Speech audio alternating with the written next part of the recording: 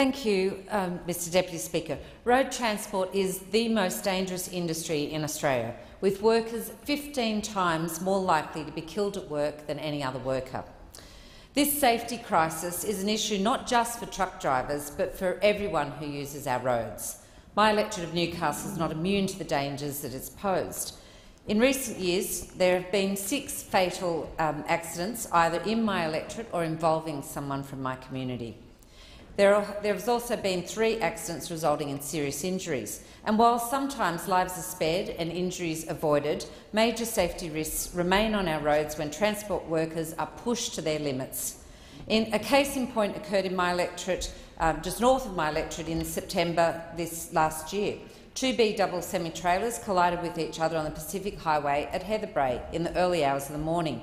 While loss of life and serious injury was avoided on this occasion, both vehicles suffered major damage and our main East Coast arterial road, the Pacific Highway, was closed for three hours. Labor treats road safety seriously, and that's why in 2002, when in government, we established the Road Safety Remuneration Tribunal to address safety problems in trucking and reduce the number of fatal truck crashes on our roads each year. But the safety of our truck drivers and road users is now under threat as the Abbott government postures to axe the tribunal. I call on the Abbott Liberal government to put the safety of truck drivers and all road users first and to leave the tribunal Order. alone to do its job.